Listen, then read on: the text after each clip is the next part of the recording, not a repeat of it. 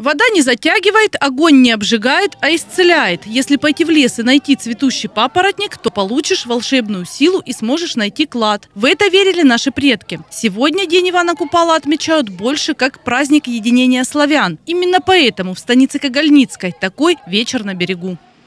На сегодняшний день э, национальная культурная автономия белорусов Ростовской области совместно с администрацией Кагальницкого района проводят праздник Купаловское лето на Дону четвертый год подряд.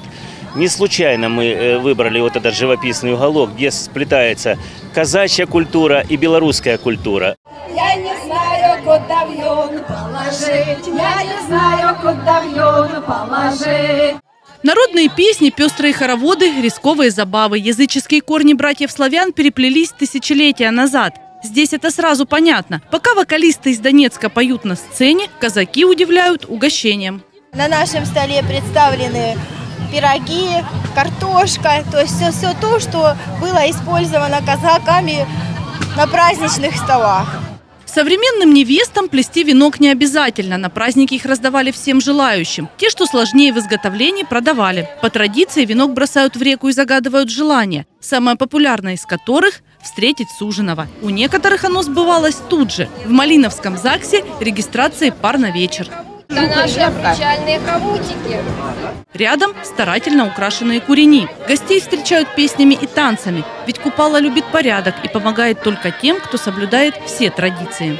Мы готовимся, мы ждем, э, столы накрываем, наряды шьем.